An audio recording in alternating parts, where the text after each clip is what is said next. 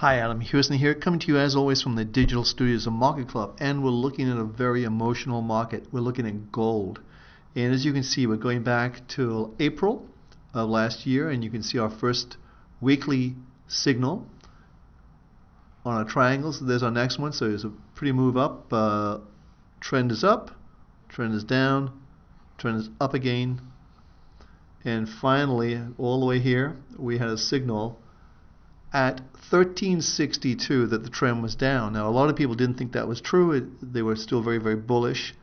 And they could be right longer term. But right now, it looks like the trend is down. However, there are some circumstances that could possibly see a pop in this market. So let's take a look from this is the high, this is the all-time high, right around the 1423 level. We've seen a $100 break. This from here to here is a $100 break, which is a big break in anyone's books.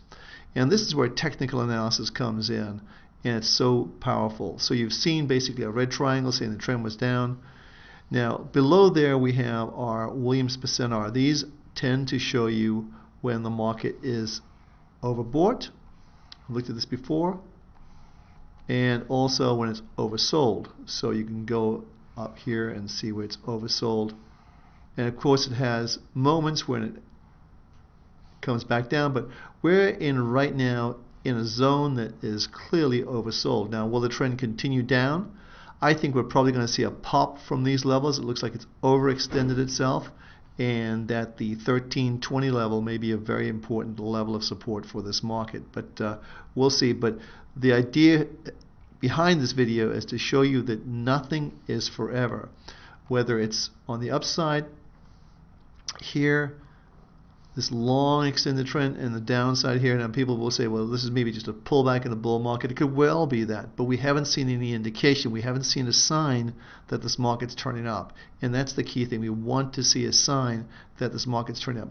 Let's take a quick look at one of our other indicators. We'll put that below the chart right now. It's easy to do with MarketClub, and that's going to be our MACD.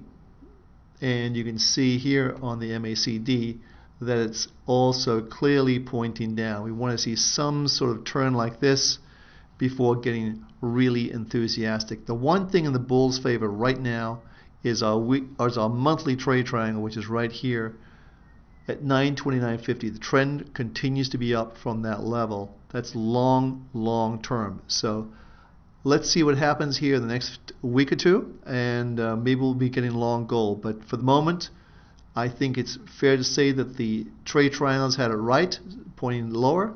And if you look at some of our daily triangles, we got up very close to the high. In fact, let me just put that in, a daily trade triangle.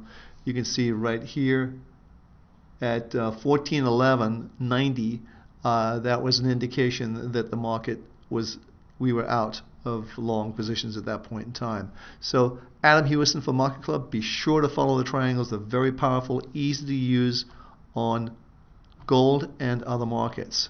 Hey, every success.